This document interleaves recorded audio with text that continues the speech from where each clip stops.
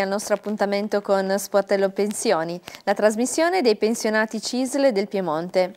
In studio con me eh, c'è Giorgio Melelli, il nostro esperto di previdenza, pronto a rispondere alle vostre Buonasera. telefonate. Vi ricordo il numero 011 95 75 798. Iniziamo però la puntata di stasera collegandoci con il nostro ospite che è Gianni Baratta, segretario regionale della CIS Piemonte con delega al mercato del lavoro. Eccolo qua, buonasera. È stato, noi, è stato, con noi, quando si trattava di parlare del decreto Cura Italia, adesso eh, gli abbiamo chiesto di intervenire per parlarci un po' del decreto rilancio. Innanzitutto, qual è il giudizio del sindacato, della CISL, rispetto a questo decreto?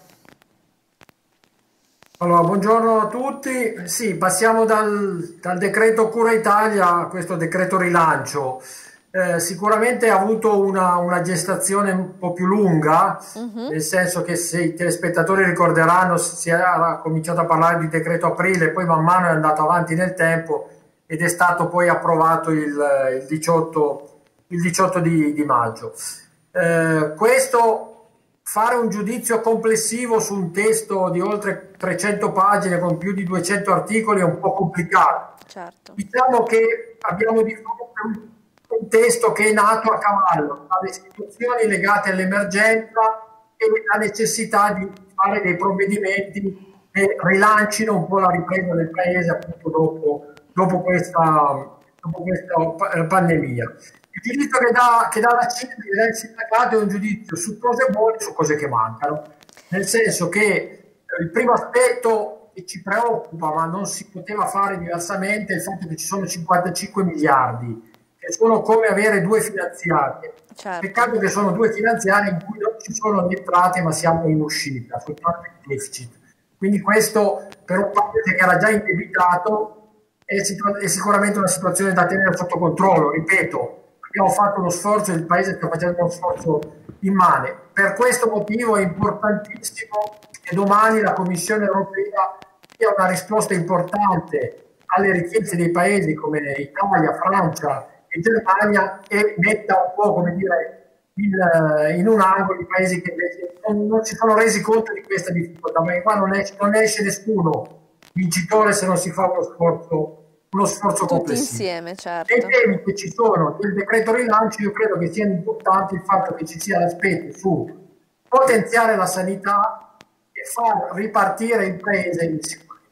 Questo è fondamentale perché come il decreto Cura Italia ha fermato quelle attività produttive quando il lavoro non era sicuro, adesso bisogna ripartire, ma bisogna ripartire in sicurezza. Certo, quindi fondamentale. Eh, ecco, invece che cos'è che manca ancora?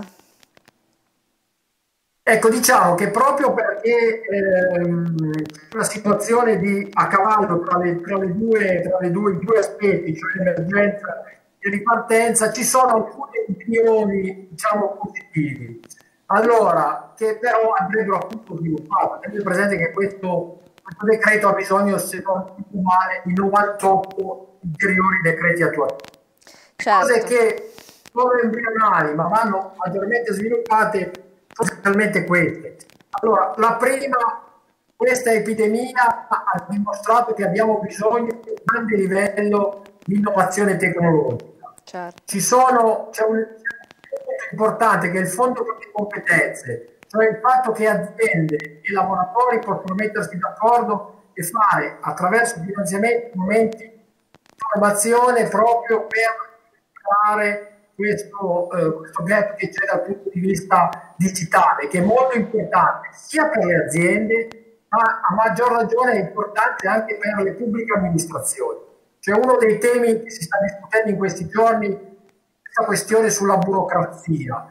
Allora, io non, non mi piace facili slogan. Allora, la burocrazia è soprattutto l'importanza di assumersi in ogni passaggio pro- le proprie responsabilità e quindi non scaricare le, eh, le difficoltà, eh, non nascondersi dietro cavilli burocratici, ma neanche avere un efficace sistema moderno di controllo, perché la burocrazia è anche controllo e certo. coniugare velocità con legalità, perché troppe volte il rischio è che sulla burocrazia si ragioni sulla questione di allentare i controlli. Il mm. terzo punto, su cui la CIS insiste molto, è quello legato alle infrastrutture. Cioè la cosa che ancora manca è che tante opere importanti, finanziate e che in qualche modo sono ferme. Non si riesce a fare ripartire, al di là dei problemi, ma in questo decreto manca un po' questo aspetto anche della ripartenza delle proprie opere.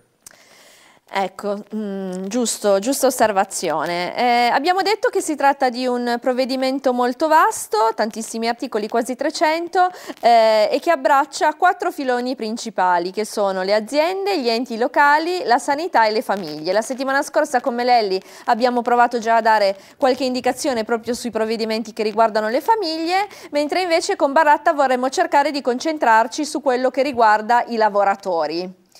E quindi partiamo dalla cassa integrazione.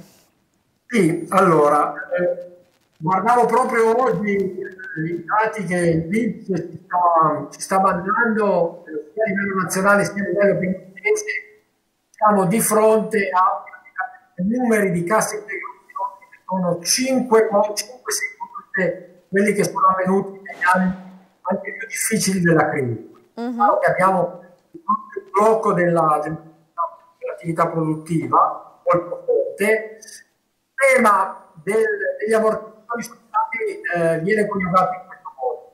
Ci sono ulteriori nove settimane di cassa integrazione, uh-huh. sia sulla cassa integrazione ordinaria, sia sulla cassa integrazione eroga, sia sul fondo di integrazione salariale. Queste nove settimane sono articolate per un problema di diciamo, capienza finanziaria con un meccanismo che vede settimane che si possono realizzare qui al 31 di, di agosto e altre, e altre 4 che possono essere utilizzate nell'autunno. Uh-huh. Questo è un punto che abbiamo già sottolineato al governo, è che ci siano anche le possibilità di allargarlo perché questo, questo numero di settimane di cassa integrazione rischia di non coprire tutte le attività produttive che poi difficoltà, in maniera certo. particolare quelle che hanno ancora difficoltà di aprire. Cinque minuti fa mi ha chiamato un bagno turco, un estetico che ha, un, ha 5 dipendenti, di cui una parte si può realizzare con, con, con gli aspetti estetici, ma per esempio il bagno che più avanti non lo sono scoperti. Questo certo. tema, il ragionamento sul blocco degli, dei licenziamenti fino al 17 di agosto è un punto che va affrontato. È importante proprio per aiutare a, eh, la transizione delle aziende che stanno, ripartendo. E poi il tema, seguito la puntata scorsa, ha già illustrato dei vari punti, quindi sono importanti anche proprio nel aiutare quelle categorie autonome state, che sono state colpite dalla crisi rallentate, qui dentro finalmente rientrano le badanti, sono state dimenticate. Colfe badanti, eh, certo. Precedente provvedimento, sono una situazione anche grande, di, grande, di grande importanza e c'è poi appunto il blocco, il blocco dei licenziamenti e le situazioni legate al reddito di emergenza e questa forma ulteriore per le famiglie che hanno determinate caratteristiche di, eh, di ISE e di condizioni, ripete un po' sulla falsariga del reddito di cittadinanza che permette un ulteriore incremento di salario per le situazioni di difficoltà. Con la Regione Piemonte ne parleremo dopo, c'è un ragionamento sul fondo, sul fondo dentro il, il Piemonte sarebbe importante che riusciamo anche a individuare quali sono le categorie che sono rimaste fuori da questa situazione. Io penso in maniera particolare a tutto il mondo dei tirocini, che era numeroso in Piemonte, che è stato bloccato e che ha delle difficoltà a ripartire. Esatto, noi avevamo ricevuto in proposito anche una telefonata, ricordo, da una signora che aveva il figlio che aveva interrotto il tirocinio e per, per queste persone ovviamente non c'erano misure eh, di copertura. Eh, ecco, riprenderei ancora un attimo invece eh, la questione che riguarda i, braccia, i, braccianti agricoli, che è un'altra novità contenuta in questo decreto eh, rilancio. Eh, molto importante anche nella nostra regione perché sappiamo eh, il settore dell'agricoltura quanto abbia bisogno di immigrati e da impiegare eh, proprio in queste attività. Sì, questo è un tema che ha, è stato il tema che forse ha maggiormente rallentato l'emanazione del, del decreto. Eh, allora, io credo che bisogna sempre avere cognizione di che, cosa, di che cosa stiamo parlando. Non si tratta di una regolamentazione selvaggia, di una di, di, di, come viene descritta da, da alcune forze politiche. Siamo di fronte a una situazione in cui le eccellenze piemontesi, penso a, alle vigne delle Langhe o eh, le fare, insomma tutto il mondo dell'agricoltura il mondo della badanza, ricordiamolo, ma anche certo. è rimasto fuori tutto il mondo del settore, del settore dell'edilizia, ha bisogno di, eh, appunto di, di forza lavoro, di queste forze lavoro che eh, fa riferimento, è indubbio che eh, questi tipi di lavoro non sono prediletti dagli italiani, c'è una situazione, credo, importante di rendere regolare le persone che hanno trovato un lavoro, che vogliono inserirsi, che vogliono eh, entrare a pieno titolo nella, eh, nel nostro paese e quindi essere parte di questa, di questa ripresa produttiva, credo che con la normativa è stata fatta, che è un primo passo, siamo nelle condizioni di ridare dignità a tanti lavoratori che in questo momento invece sono sfruttati proprio perché sono irregolari. E, e bisogna invertire la situazione. Noi facciamo emergere i dati positivi, facciamo, facciamo regolarizzare le persone, combattiamo la criminalità e combattiamo il lavoro nero. Ecco, mi sembra la chiave di lettura più giusta. Sì, certo, prego. E, mi sono dimenticato di dire prima, un aspetto che va eh, verificato, che però è importante, riguarda un po' diciamo, la parte eh, green del, del, decreto rilancio, cioè ci sono una serie di eh, indicazioni riguardo alla mobilità sostenibile, quindi perché il trasporto sarà uno dei temi importanti che dovremmo affrontare certo. e soprattutto c'è questa questione con l'eco bonus, cioè sull'incentivare le ristrutturazioni, il rifacimento eh, con, con, un principio di recupero energetico che dovrebbe dare impulso alla nostra, alla nostra economia. Ecco sì, speriamo appunto che anche queste misure vadano a incentivare da un lato l'economia e dall'altro appunto eh, la tutela dell'ambiente eh, che non dobbiamo mettere da parte, era eh, uno dei temi più sentiti proprio anche eh, allo scoppiare eh, dell'epidemia. Ecco allora veniamo invece alla situazione del Piemonte, eh, è in corso la discussione proprio su questo disegno di legge che è stato chiamato Riparti Piemonte, doveva anche questo essere approvato a metà maggio ma i tempi sono sono andati avanti. Eh, che cosa ci dobbiamo aspettare?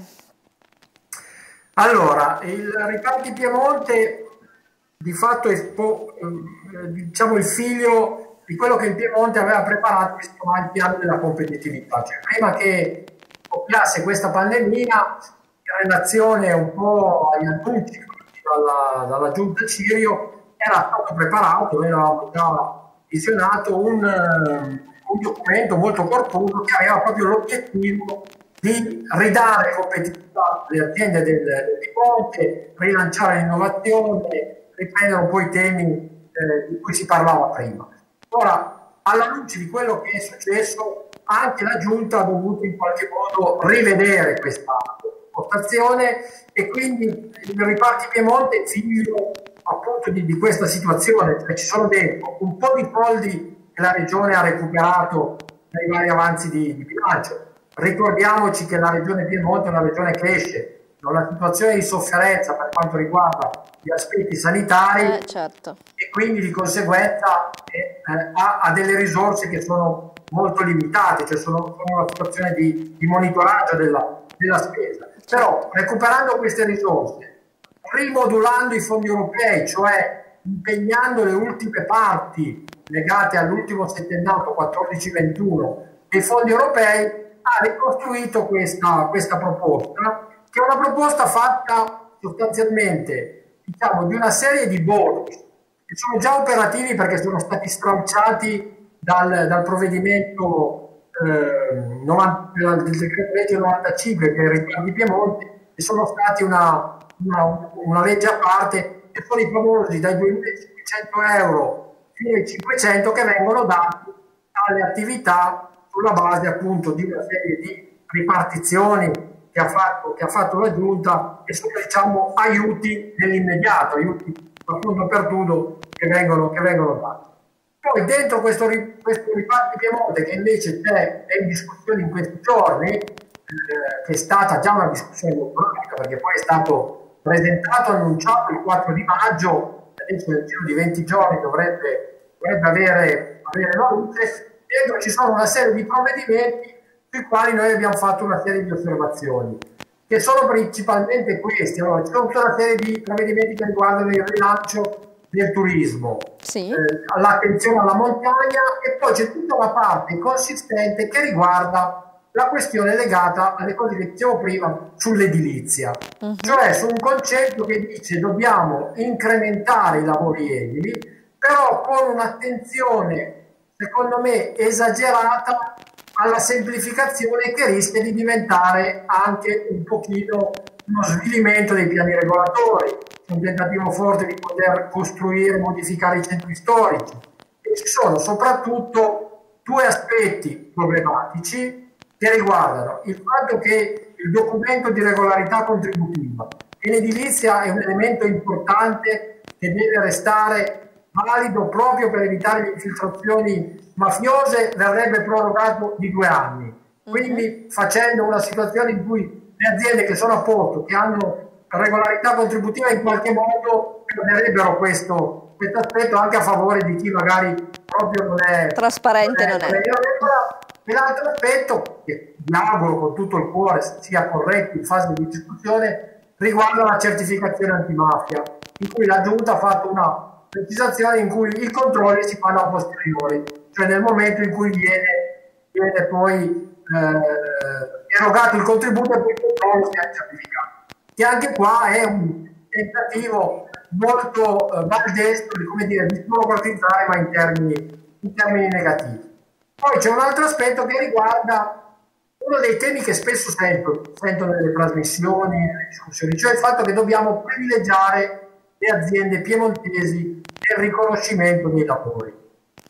Allora, al di là che su alcuni, alcuni importi bisogna usare le normative europee per fare una gara pubblica, già lì può avere qualche punto, però il concetto stesso sta, che sta alla base è che il Piemonte, essendo una, una, eh, una regione che esporta e comunque ha buone tecnologie se tu certo. crei un criterio in Piemonte lavorano solo i piemontesi, è come se tu cercassi di lavorare e di dire in Lombardia lavorano solo in Lombardia come di questo certo, genere. Sì, non... Questa situazione francamente sembra una visione estremamente mio. Tant'è vero che le aziende che hanno retto andando in crisi sono le aziende che hanno, hanno esportato. Ad ogni buon conto, perché secondo me bisogna essere positivi, l'importante è che il provvedimento, io credo, andrà in approvazione entro questa, entro questa settimana deve essere poi accompagnato da un recupero, un po' come sul decreto rilancio, da un recupero di quegli aspetti della competitività che in qualche modo sono stati specificati per problemi, per problemi di bilancio.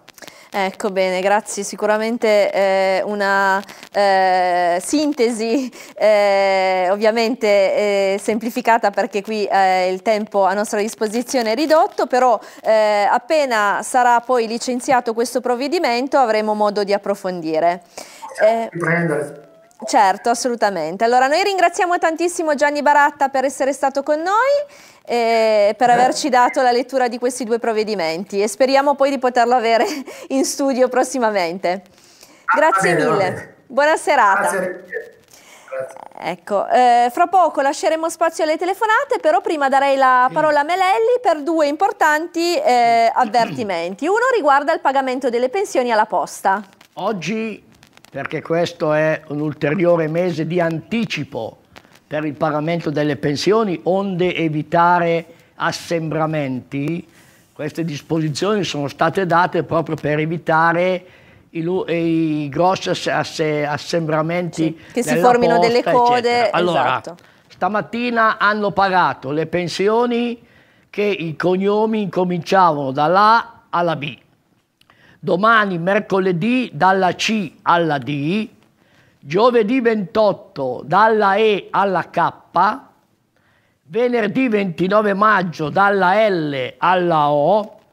Sabato mattina 30 maggio dalla P alla R e il primo giugno, che è lunedì, dalla S alla Z.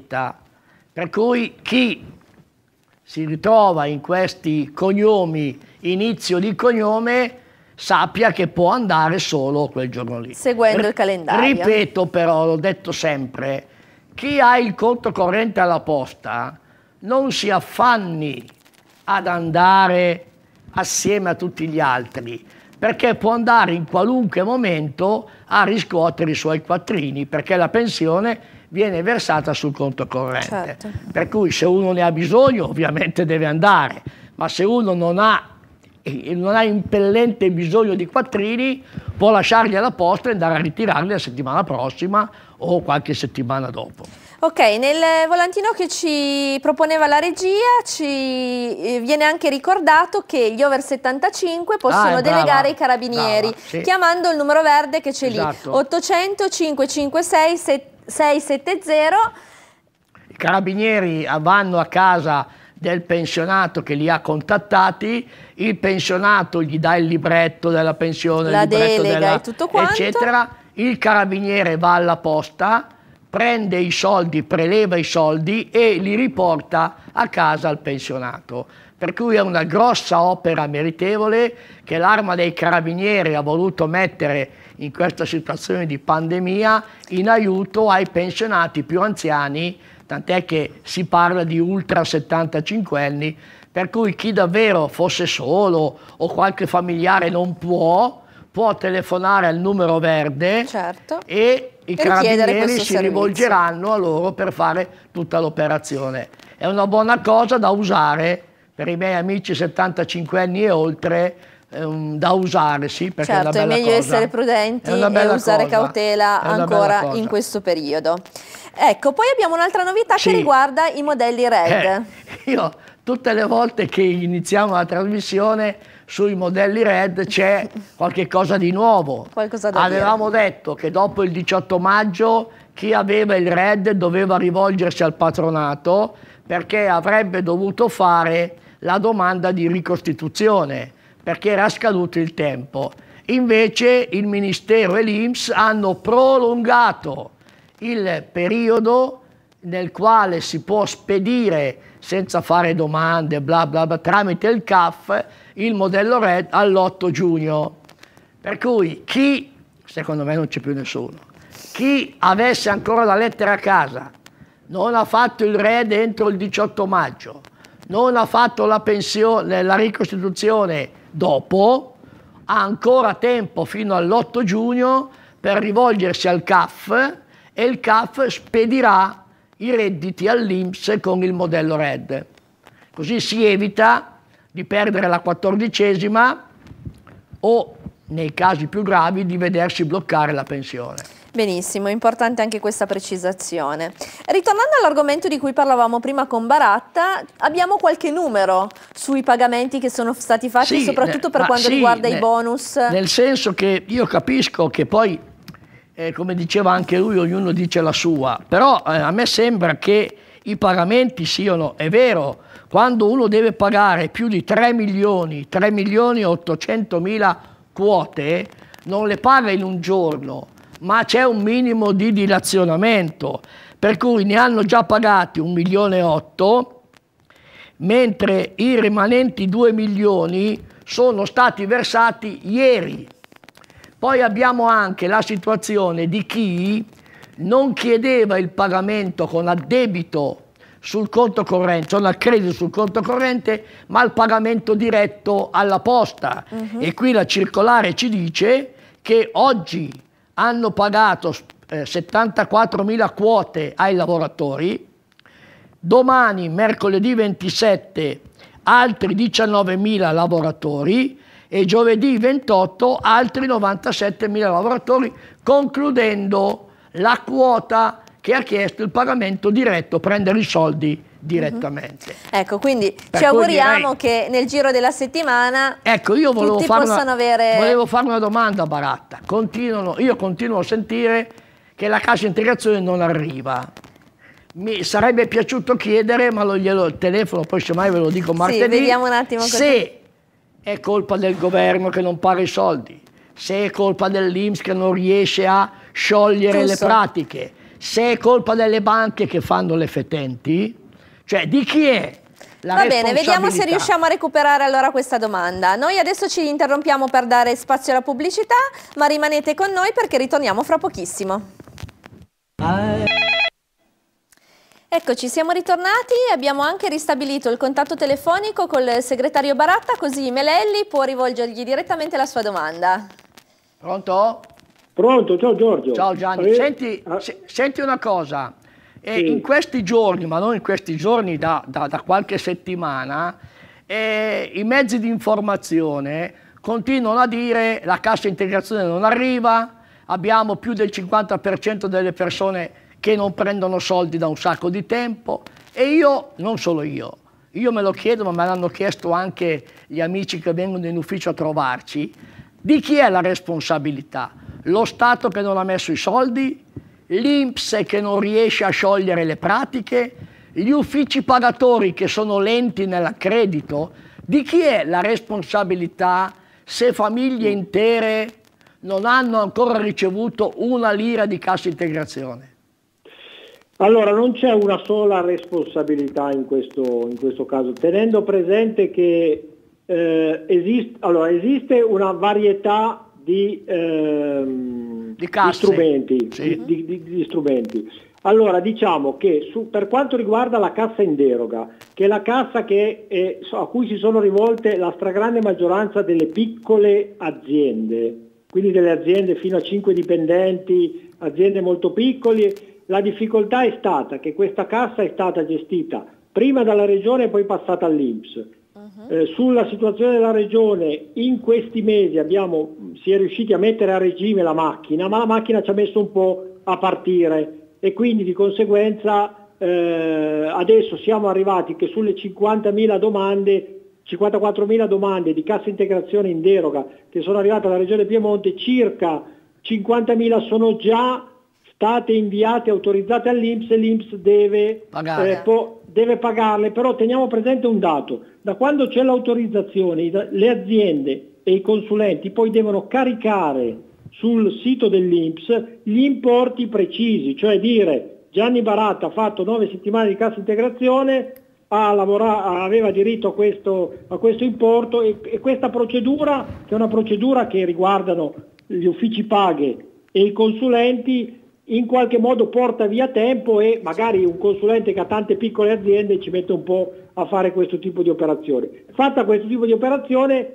la direttrice dell'Inps ci diceva che in 7-8 giorni poi arrivano i soldi legati alla, al, al lavoratore. Tant'è vero che la nuova normativa prevede, che partirà però tra 30 giorni purtroppo per meccanismi tecnici, prevede che proprio sulla deroga, 15 giorni dopo la domanda di cassa integrazione, l'Inps dovrà mandare il 40% di acconto ai lavoratori, mm. proprio per evitare questa, questa, situazio- questa, situazione. Il problema è che, secondo il mio modesto parere, nel momento in cui la macchina della deroga in qualche modo era andata a regime, adesso si ricomincia e ci sono appunto questo buco di 30 giorni che deve permettere all'Inps di modificare i programmi informatici perché lei prima non era pronta, cioè Chiaro. prima passava alla regione e andava, e andava diretto. Chiaro. Il dato positivo che ci diceva la dottoressa regionale oggi era che in Piemonte almeno l'80% delle aziende che hanno fatto ordinaria hanno anticipato Ah. E questo è stato un buon vantaggio. Però le cose che si sentono, secondo me, sono legate soprattutto alle piccole aziende Perfetto. che hanno questa difficoltà della deroga. Grazie Perfetto, Gianni. allora grazie Prego. mille anche per questa informazione aggiuntiva. Eh, lo salutiamo nuovamente e grazie, alla prossima lavoro. occasione. Grazie altrettanto. Ecco, la settimana scorsa eh, avevamo in collegamento come ospite il presidente dell'ISCOS per eh, chiedere a chi eh, volesse di devolvere il proprio 5 per 1000 durante la dichiarazione dei redditi a favore di questa associazione di cooperazione internazionale che fa capo alla CISL. Eh, questa settimana abbiamo realizzato una piccola intervista a Francesca Boschetto che è la presidentessa eh, dell'Anteas del Piemonte, anche lei ci ha raccontato un po' come è andata avanti l'attività eh, di volontariato eh, in questo periodo eh, di epidemia e eh, come si può eh, quest'anno eh, devolvere il 5 per 1000 all'associazione Anteas perché c'è una novità, non più i codici fiscali per ogni Anteas territoriale ma un unico codice fiscale regionale. Sentiamola. Parliamo un po' dell'Anteas. In questo brutto periodo purtroppo di coronavirus l'Antea non si è fermata completamente. Abbiamo cambiato modo di, stare vicino alle persone con telefonate per chiedere se avevano bisogno, telefonate di cortesia, la gente, specialmente gli anziani, erano chiusi in casa, quindi il fatto di sentire una voce amica li ha tirati un po' su di morale. Abbiamo concordato in diversi posti eh, nella nella regione, chi con la protezione civile si andava a prendere i medicinali e poi la protezione civile li metteva davanti alla porta senza mh, contagiare le persone, anche qualche piccola spesa alimentare mh, di cui abbiamo anche anticipato perché molte persone sono molto in difficoltà, quindi eh, con le donazioni che abbiamo avuto del 5 per 1000 negli altri anni abbiamo pagato queste piccole spese alimentari che andavano dalle 20 alle 30 euro per le persone che decisamente erano in difficoltà, anche perché chi era abituato ad andare a prendere la pensione alla posta aveva problemi a uscire, quindi eh, abbiamo, conoscendo le persone, abbiamo cercato di aiutarli in, in questo modo. Poi c'era il problema anche dell'acqua, quindi lasciare l'acqua davanti alla porta, e molto sono state levate di compagnia. Poi eravamo precettati per il sabato e la domenica e tutti i giorni festivi, compreso aprile, che c'è stato Pasqua, c'è stato il 25 aprile, primo maggio, e lì il discorso era per le medicine.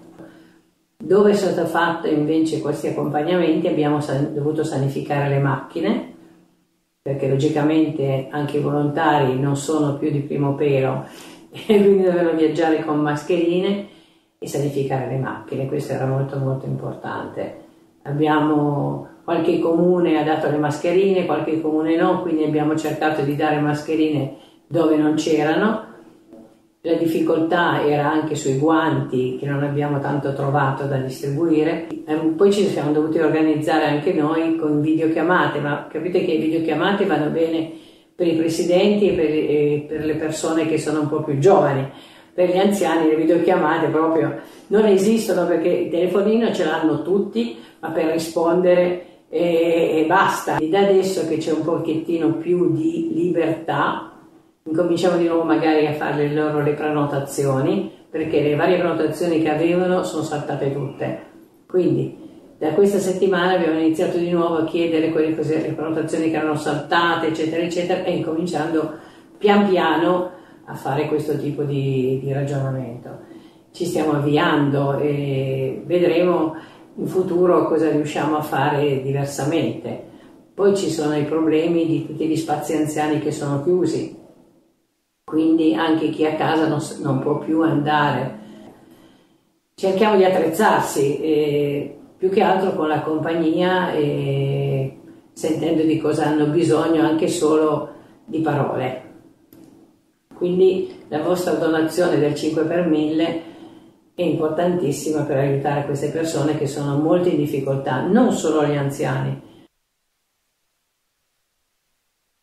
Ecco benissimo, abbiamo sentito allora dalle eh, parole della Presidentessa Boschetto che l'Antias non si è fermata, ovviamente con difficoltà perché eh, anche i volontari in alcuni casi hanno un'età piuttosto avanzata e eh, ovviamente eh, andavano garantite tutte le misure di sicurezza, però soprattutto con queste telefonate di compagnia si è cercato di mantenere il eh, rapporto e poi ovviamente la consiglia dei generi alimentari, dei medicinali e ora appunto con il riavvio si spera di poter stare ancora più vicini. Cittadini. Eh, avete visto allora il codice fiscale unico regionale di quest'anno, eh, vediamo se poi la, la, regia ce lo può ancora proporre, esatto, eccolo qua, quindi chi vuole può devolvere il proprio 5 per 1000 quando va a fare la dichiarazione dei redditi ad Anteas. Adesso abbiamo in linea una telefonata, quindi sentiamo il nostro telespettatore. Pronto? Pronto, buonasera. Buonasera, buonasera signora. a tutti. Da dove ci chiama? Sono Luigia e chiamo da Torino. Buonasera, ci dica. Allora, io ho visto la prima parte e adesso sto vedendo la seconda parte, no? Sì. E mi sono fatta un po' un'idea della CISL, che si parlava di lavoro, di cassa integrazione, di dare una mano, anche la signora che ha parlato adesso, il 5 per 1000 è molto bello per dare una mano ai poveri, a chi ha bisogno, eccetera, eccetera. Però io ho tre domande, ma un dubbio però le, le, faccio veloce per dare la possibilità anche agli altri Grazie, di signora. parlare. Prego. Si, è, si è detto eh, nell'agricoltura che si ha bisogno del, dei, degli extracomunitari per l'agricoltura. Io una parte sono d'accordo, in una parte no. Preferisco dare una mano a quei extracomunitari che sono già in Italia e va bene per eh, difenderli, per il caporalato, eccetera, eccetera. Però nessuno parla che non solo loro vengono sfruttati, ma anche noi italiani veniamo oh, certo. sottopagati e sfruttati, ma di noi italiani non se ne parla mai, si parla solo di extracomunitari. Io non sono razzista, sono d'accordo che anche loro hanno diritto di venire qui e lavorare e dare da mangiare alle loro famiglie, chi già qui vive da tanti anni, ma io non tollero che il governo vuole 600.000 clandestini che non scappano da nessuna guerra, che vengono qui a fare cosa? Cioè le nostre risorse, i nostri risparmi, i nostri contributi che non riusciamo a dare una mano agli stessi italiani che veniamo sottopagati, faccio un esempio, io vado a lavorare a 6 euro all'ora a no, fare certo. le pulizie, un, extra, un clandestino prende 42 euro al giorno, le sembra giusto? Grazie signora, eh, la ringraziamo, abbiamo capito... Però io volevo dire un'altra cosa e poi chiudo e taccio perché do la possibilità agli altri. Sì. La CISL e i sindaci sanno, i sindaci per esempio sanno dove le famiglie hanno difficoltà e come possono aiutarle e come dare lavoro. Perché pensano sempre ai clandestini e mai agli italiani? La ringraziamo signora. Grazie. Buonasera, intanto sentiamo prima, la replica di Melelli. Prima risposta. Il governo ha, messo, ha dato ai comuni 400 milioni di euro da dare alle famiglie bisognose. I bonus spesa. I bonus spesa. Nel primo, nel primo perché momento. giustamente, come dice lei, chi meglio del comune conosce le famiglie e le esigenze che le famiglie hanno? Uh -huh. Per cui io credo che magari 400 milioni non è tantissimo, ma come posso dire, la strada che il governo e le regioni hanno, e i comuni hanno percorso è questa. Adesso poi c'è il reddito d'emergenza in questo esatto. nuovo decreto che va sempre un po' in Però il reddito d'emergenza è già un problema che devi avere l'ISE, bla bla bla. Sì, Qui sì, invece è proprio il comune uh -huh. che andava a individuare chi era famiglia Bisognoso. precaria. Signora, eh, per la verità, eh, ieri, ieri sera, l'altra sera in televisione il ministro Lamorgese, che è il ministro degli interni, ha parlato di 200.000 emigranti e, e non 600 E poi non si tratta di clandestini, ma di persone che, come dicevamo prima, hanno comunque già eh, un rapporto scaduto, di lavoro. no? Hanno il permesso ah, sì, di certo. soggiorno scaduto. E che però hanno già dei contratti esatto, per lavorare. che devono quindi... rinnovare. Mm -hmm. Per cui attenzione, la nostra stampa, che è stampa di parte... Eh, molto spesso sì. Ognuno dice la sua. Certo. Se lei, legge, se lei, legge, i giornali di destra dicono una cosa, li legge di sinistra dicono un'altra. Mm -mm. Allora bisogna sempre stare Cercare in mezzo. Di, di Io credo che qualcuno ha anche detto perché non mandiamo in agricoltura quei signori che prendono il reddito di cittadinanza? Mm. Eh, perché non hanno la professionalità per andare in agricoltura perché non tutti sono adatti ad andare in agricoltura. Beh, poi c'è anche da dire che in questo periodo sono state fatte molte chiamate anche Infatti, da parte di eh, aziende agricole e associazioni. Tra l'altro l'altro giorno leggevo su- su- sulla stampa nazionale che i ragazzi che dovrebbero mantenere i contatti tra chi ha il reddito di cittadinanza e le aziende lavorano in casa perché hanno lo smart working. No, certo. Perché col coronavirus anche per loro era un problema. Per cui è una situazione, e in una situazione precaria così, per evitare di fare danni, secondo me è bene regolarizzarli. Hanno detto li regolarizziamo per sei mesi, vediamo come va l'ambaradan e poi decidiamo. Certo, anche perché appunto è da Eh. combattere assolutamente lo Infatti, sfruttamento infatti. e il caporalato. Infatti. Abbiamo un'altra telefonata in linea, sentiamo. Pronto? Pron- pronto? Sì, Buonasera, ecco, buonasera. Alba. Sì, prego signora, ci dica. Eh, io volevo fare una domanda al signore. Sì, la sto Buonasera. sentendo. Buonasera, io ho 67 anni compiuti, Sì, non, ho, non ho nessuna pensione, mio marito è pensionato e prende intorno ai 1200, non arriva, lordi, netti, eh? lei cosa vuol sapere? Se ha diritto a qualcosa? Sì, No. ma, ma perché noi, io non, noi non superiamo i 16.000... No, no, no, no, no, no. Per avere diritto all'assegno... Ah, no. Lei parla del reddito di emergenza. No, io eh, par- parlavo della mia pensione, se No, aspetta qualcosa no, o no, lei no. Se non ha contributi 20 anni o 15 anni a 92, no. Lei potrebbe vedere l'opportunità di prendere l'assegno sociale. Ma avendo, no, ma avendo il marito una Ah. pensione superiore a 11.600 euro annui lordi, lei non può purtroppo avere l'assegno sociale. Capito. Allora il problema è, avete fatto l'ISEE? Sì, tanti anni fa, ma non... eh, Dovete, dovete rifarlo perché c'è la possibilità di prendere il reddito di emergenza, Capito.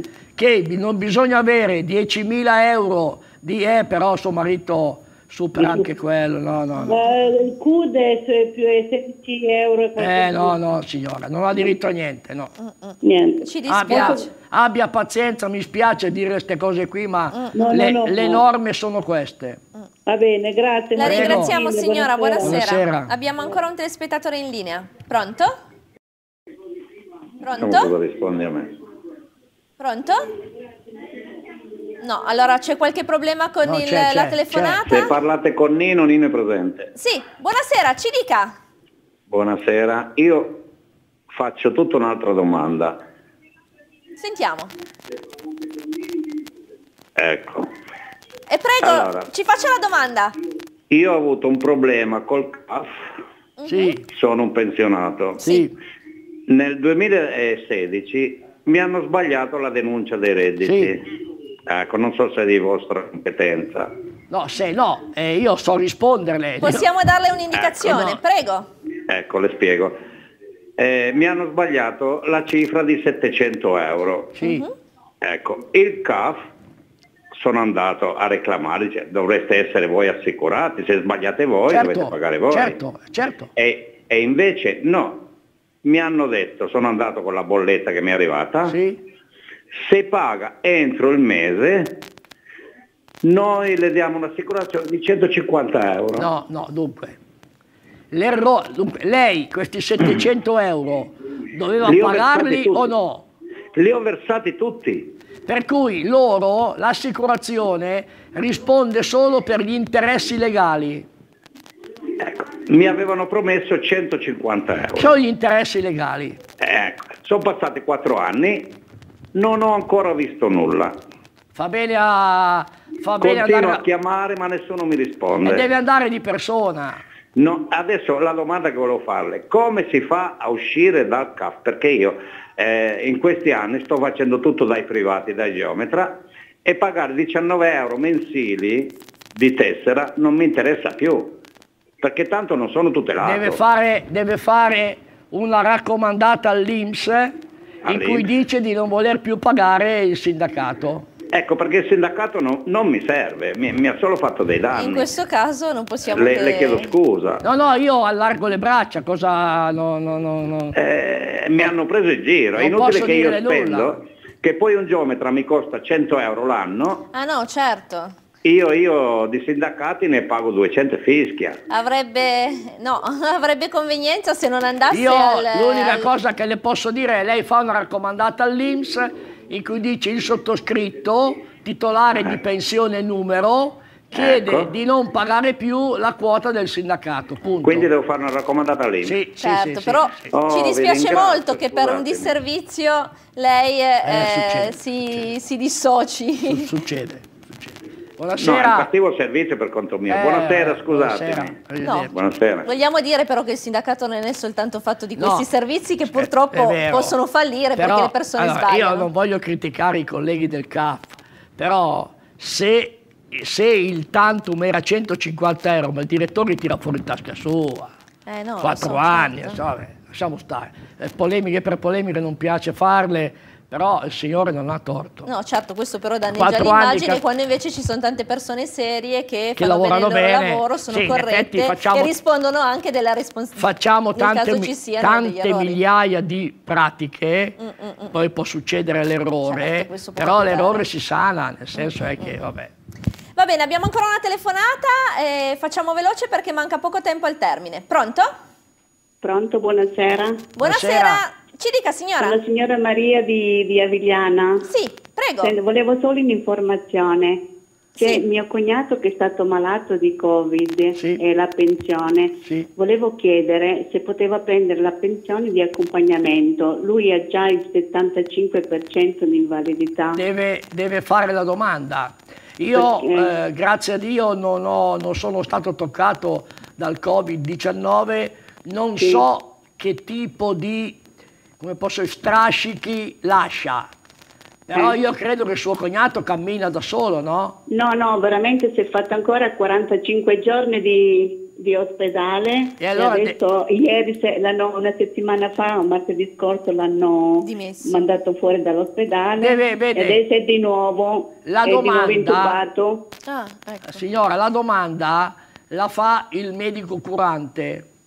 Per cui la Ok. domanda che ha fatto a me deve farla al medico curante, perché se lui ritenesse che vale la pena chiedere l'accompagnamento, deve redare il certificato medico, spedirlo all'Inps, dare Sì. una copia a voi e voi Sì. poi venite da noi che facciamo la domanda.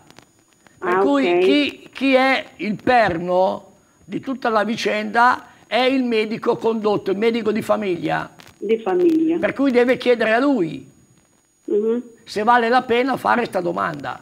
Sì, perché lui ha già il 75% perché è un diabetico con tante patologie. Per cui magari, magari che arrivi ad averla. Io rispetto, eh. al, rispetto al Covid-19, purtroppo eh, è tre mesi che c'è, ne sapremo un po' di più tra qualche mese, però Sì, perché- vale eh, la eh. pena secondo me Fare fare la domanda. certo. Eh, fare la eh, domanda.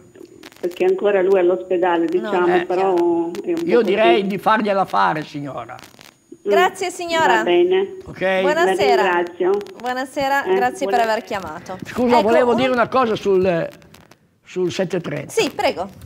Chi, no- chi non fa il 730 perché ha solo il CUD c'ha magari solo la casa d'abitazione, può pagare, de- dare il Devolvere il proprio contributo. 5 per 1000. Perché basta che veniate da noi, vi stampiamo il CUD, Mhm. in fondo al CUD c'è proprio il modello con le tre possibilità. 8 Sia per l'8 per 1000, 1000 che per il 5 5 per 1000 e Esatto. anche per i partiti per chi volesse. Per cui si stampa quello e si scrive il codice che avete visto Il prima fiscale, in sovraimpressione e voi date il contributo senza pagare una lira, senza pagare una lira, date il contributo l'8 per 1000 allo Stato, alla Chiesa, a chi volete, e il 5 per 1000 all'Anteas che fa tutte quelle cose che il presidente di Torino ha detto, cioè portare i medicinali, fare compagnia, portare la spesa, tutte cose che in questo periodo sono state, sono state estremamente positive e importanti. Assolutamente, un contributo prezioso. Certo. Abbiamo detto che eh, questo periodo ha risvegliato un po' anche il valore della Ne solidarietà. parlavamo prima, esatto, ci, ci- ci stiamo volendo più bene di prima, ecco. Forse perché possiamo fare questi gesti un po' diversi Esatto, dal contatto esatto, fisico, però esatto. è un bel modo di dimostrarselo. Su questo noi ci dobbiamo salutare perché il tempo a nostra disposizione è scaduto. Vi ringraziamo per averci seguito, ringrazio Melelli per le sue risposte e vi ricordo che la settimana prossima Buonasera. non andremo in onda perché è il 2 giugno e quindi Sportello Pensioni tornerà martedì 9 giugno. Buona serata! Buonasera.